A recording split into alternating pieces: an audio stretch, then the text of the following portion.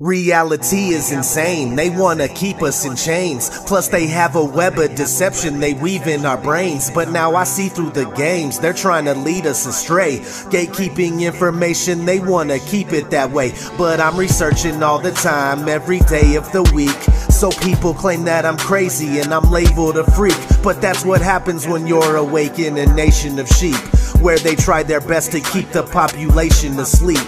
They poison our food and water and they offer us war, but we're not falling for their parlor tricks, not anymore. We walked through the door and let our chains drop to the floor. There's many areas in this life that we got to explore, and the earth too, because they might be hiding more land, more seas, more trees, more snow, more sand.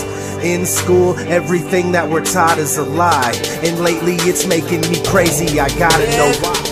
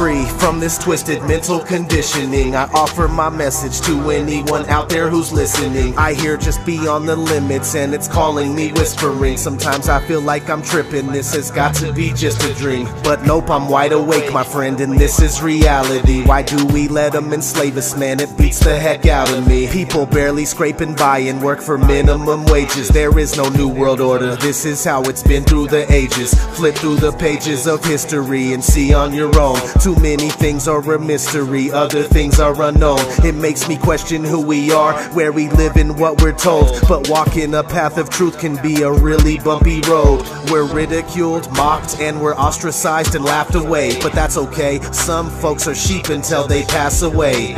In school, everything that we're taught is a lie. And lately it's making me crazy, I gotta know why.